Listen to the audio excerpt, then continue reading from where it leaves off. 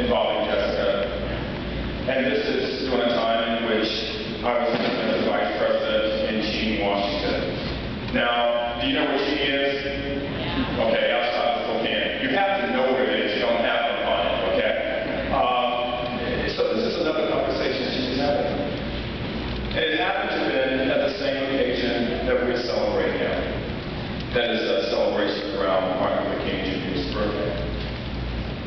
And the teacher asked her, as well as some of the other students to stand up. And it was a fairly diverse class. And so the first student who stood up was a naked student. And she asked the student to stand up. And she said, students who look like you are called a number of things. They're called Native American, they're called Indian. And she asked the student to sit down.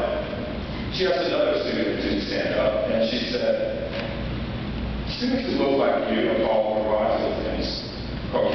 White, and she asked the student to sit down. She called another student up and she said, students who look like you are called a variety of things. Mexican American, Hispanic, Latino. And she asked the student to sit down as well. Then she called my daughter Jessica and she said, students who look like you are called a variety of things. African American, black. But she went on with Jessica and said, and what would you like to be called? Jessica paused and And you know, that says it all, doesn't it? This is about the celebration of a generation. And you have but to look in your history books to understand the indelible imprint that the Reverend Dr. Martin Luther King Jr. has had on this country.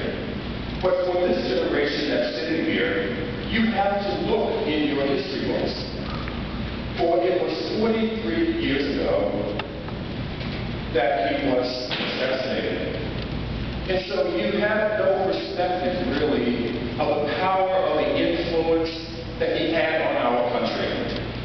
And many of your parents have no idea of that power and that influence absent the historical perspective in which he's inculcated in this country.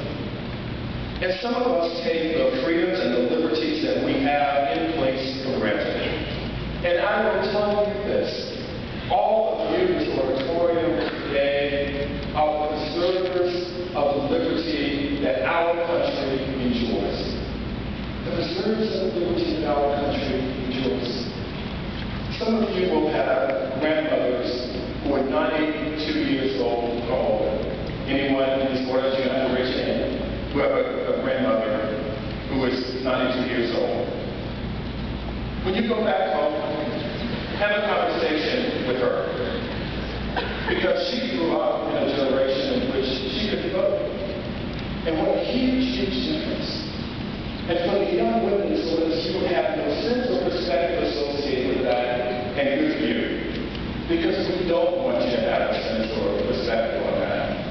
Because you've grown up in a time in which your talents and your intellect will take you as far as you can go.